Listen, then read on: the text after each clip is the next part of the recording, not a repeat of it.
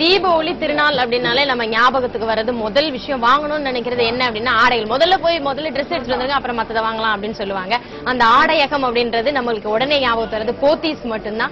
தியாகராய நகர்ல இருக்க போத்தீஸ்க்கு தான் இப்ப நம்ம வந்திருக்கோம். அழகான ஆடைகள் பட்டாடைகள் ஒரு பக்கம் பட்டு புடவைகள் ஃபேன்சி புடவைகள் அப்படியே வண்ணங்கள் அப்படியே கலர் கலரா கண்ணை பறிக்கிற மாதிரி இருக்கு. அது மட்டும் இல்ல தைத்த ஆடைகள் நம்ம வாங்கி இல்லைன்னா துணி வாங்கிட்டு போய் தைக்கக்கூடிய ஆடைகள். இந்த காலத்து குழந்தைகள்ல இருந்து குமரிகள்ல இருந்து பாட்டிகள்ல இருந்து எல்லாரும் விரும்பக்கூடிய எண்ணங்களுக்கு ஏற்ற மாதிரி அழகான ஆடைகளை நம்ம போத்திஸ்ல குவிச்சு வச்சிருக்காங்க. இவங்க ஆடைகள் குவிச்சதை விட மேலா இங்க வாங்குறதுக்காக வந்து மக்கள் குவிஞ்சிருக்காங்க. இப்ப அதை தான் நம்ம பார்க்க போறோம். வாங்க போலாம்.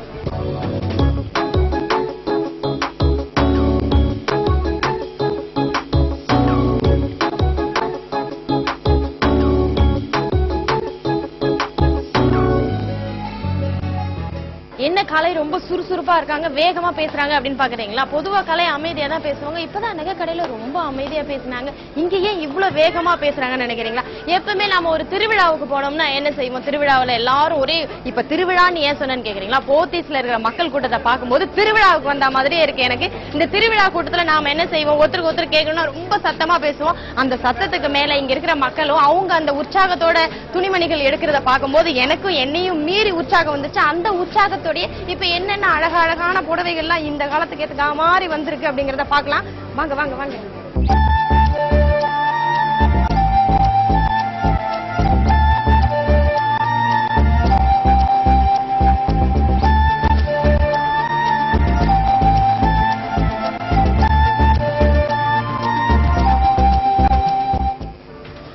எல்லாமே பாத்தீங்கன்னா வந்து ஆயத்த ரவிக்கைகள் இருக்கு. அதாவது இப்போ வந்து தீபாவளி டைம்ல வந்து இந்த தீபாவளி திருநாள்ல வந்து புடவை எடுத்தோம்னா தையல் தொழில் செய்யறவங்க கிட்ட கொடுத்தோம்னா உடனே வந்து நமக்கு ரவிக்கைகள் கிடைக்காது.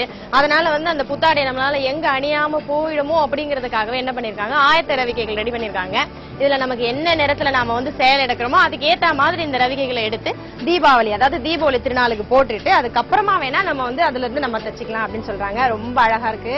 பாருங்க எல்லா நிறங்கள்லயும் இந்த காலத்து பெண்களுக்கு ஏற்றார் மாதிரி இந்த கழுத்தினுடைய வடிவம் அதுல வந்து பாருங்க ரொம்ப அழகா இருக்கு. மணியெல்லாம் வச்சு வச்சிருக்காங்க அழகா இருக்கு. நாம என்ன கொடுத்து எண்ணங்களுக்கு ஏற்ற மாதிரி தப்போமோ அதே மாதிரி இவங்களும் அழகா தச்சு வச்சிருக்காங்க. இங்க அழகான ஒரு புடவை இருக்கு. அதாவது பட்டு புடவைக்கு நிகரான புடவை இது. இதனோட விலைகள் பாத்தீங்கன்னா ஆயிரத்துல இருந்து இரண்டாயிரம் வரைக்கும் இருக்கு இல்லைங்களா? ஆயிரத்துல இருந்து இரண்டாயிரம் வரைக்கும் இருக்கு. இது இன்னொரு அருமையான விஷயம் என்ன அப்படின்னா வந்து ஒன்று வாங்கினால் ஒன்று வந்து இலவசம் அப்படின்னு சொல்லியிருக்காங்க. இது எதுக்காக அப்படின்னா தீபாவளி அன்னைக்கு எப்பயுமே என்ன பண்ணுவோம்? காலையில எண்ணெய் தேய்ச்சி குளிச்சுட்டு ஒரு புத்தாடையை அணிஞ்சிருவோம். அணிஞ்சு முடிஞ்சு நம்ம வீட்டுல சாமி எல்லாம் கூப்பிட்டு எல்லா வேலையும் முடிஞ்சதுக்கு அப்புறமா நம்ம என்ன பண்ணுவோம்? வீட்டோ குடும்பத்தோட கூட்டிக்கிட்டு இன்னொருத்தர் நம்மளுடைய சொந்தக்காரங்க வீட்டுக்கு போவோம் இல்லையா? அப்போ ஒரு புது புடவை கட்டிட்டு போனோம்ல அதுக்காக தான் ஒன்று வாங்கினால் ஒன்று இலவசம். சரிதானே நான் சொன்னது?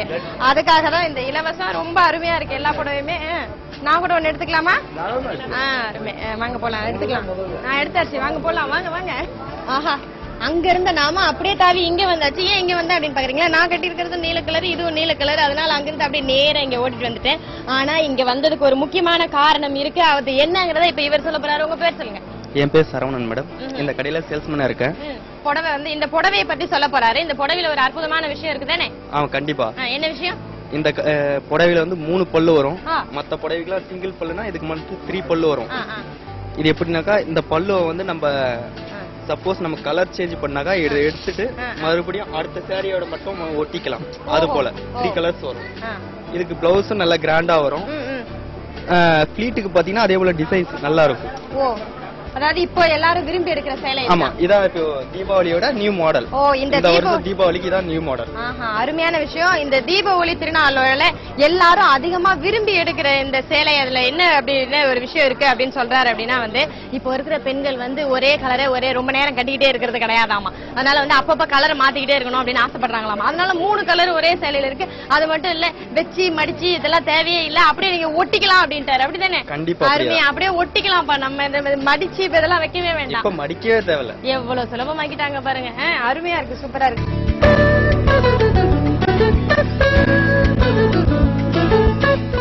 பெண்களுடைய அழகான ஆடைகளா பார்த்தோம். அதாவது ஆணுக்கு பெண் நிகர் அப்படின்னு சொன்னாங்க. ஆனா பெண்களுக்கு நிகரா ஆண்களுக்கு ஆடைகளை குவிச்சிருக்க ஒரே இடம் நம்ம போத்தீஸ் மட்டும்தாங்க. பாருங்க ஆண்களுக்கு எவ்வளவு ஆடைகள் இருக்கு. ஆண்கள் எல்லாம் அப்படியே மெய் மறந்து பாத்துட்டு இருக்காங்க. ஆடைகளை பார்த்து வியந்து போயிட்டாங்க. நமக்கா இத்தனை நகங்கள்ல இத்தனை ஆடைகளா அப்படின்னு?